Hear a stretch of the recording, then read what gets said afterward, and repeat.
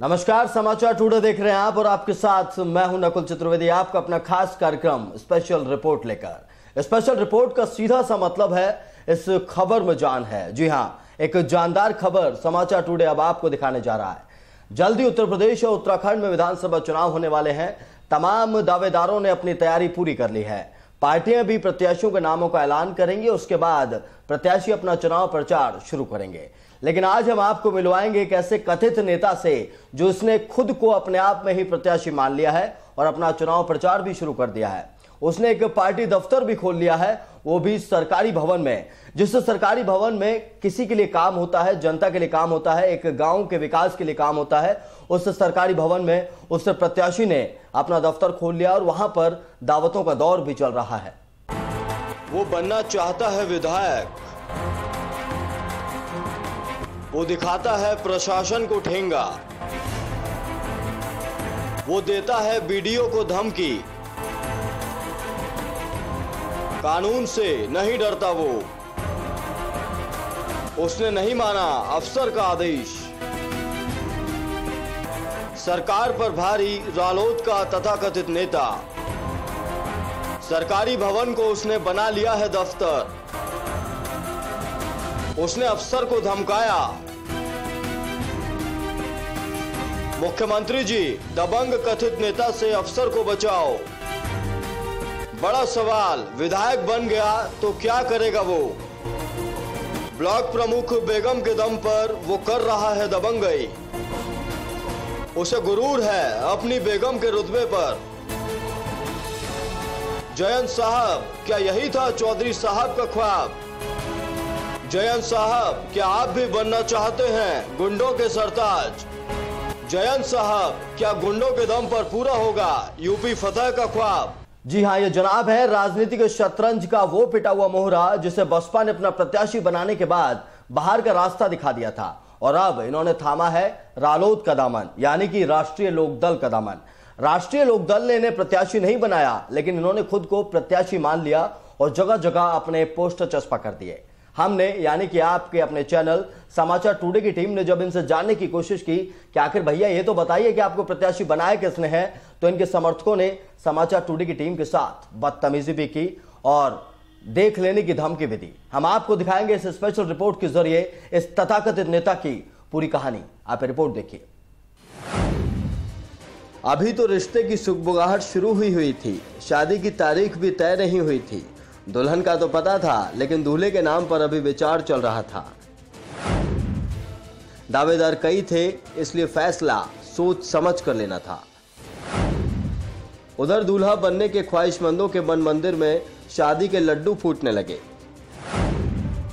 लड्डू फूटना स्वाभाविक था, लेकिन एक दूल्हे मियाँ कुछ ज़्यादा ही जोश में आ गए।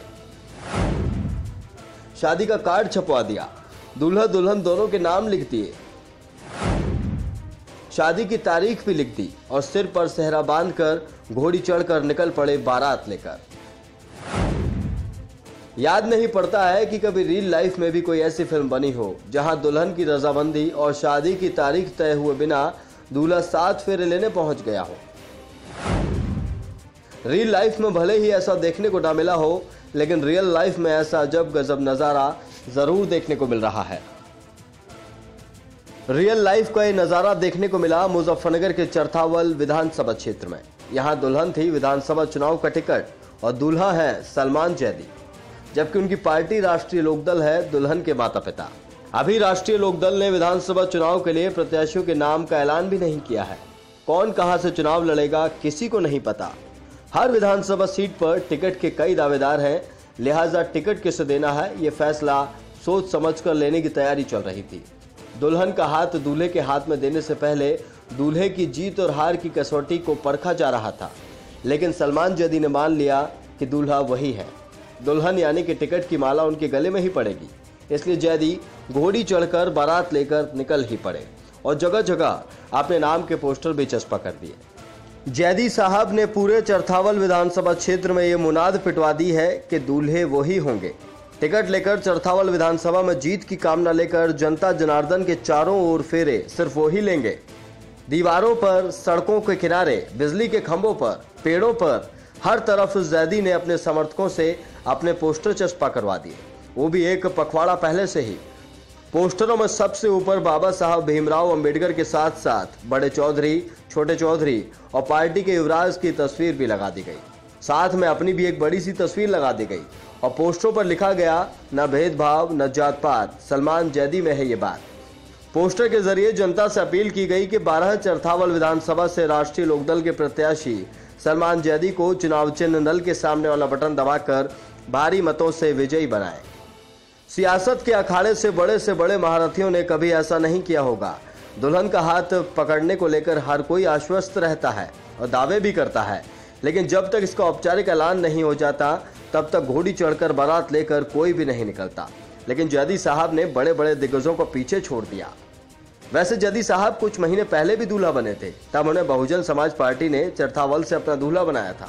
दूल्हा बनते ही जैदी मारे खुशी के फूले नहीं समाये थे। जैदी घोड़ी चढ़ चुके थे और धूमधाम से अपनी बारात निकालने की तैयारी कर रहे थे। लेकिन सियासत में किसके साथ क्या हो जाए, ये कोई नहीं जानता। कुछ ऐसा ही जैदी साहब के साथ भी हुआ। दूल्हा बनकर घोड़ी पर चढ़कर मीठे मीठे ख्वाब दिखाकर बीएसपी ने अचानक से उनका टिकट काटकर उन्हें घोड़ी से उतार दिया। तब जैदी साहब को बहुत सदमा पहुँचा था। इसलिए इस बार जैदी साहब ने खुद को दूल्हा बनाए जाने के लिए पार्टी की घोषणा का इंतज़ार नहीं किया और खुद से ही खुद को दूल्हा घोषित कर घोड़ी पर बैठकर बारात निकालने की तैयारी कर ली।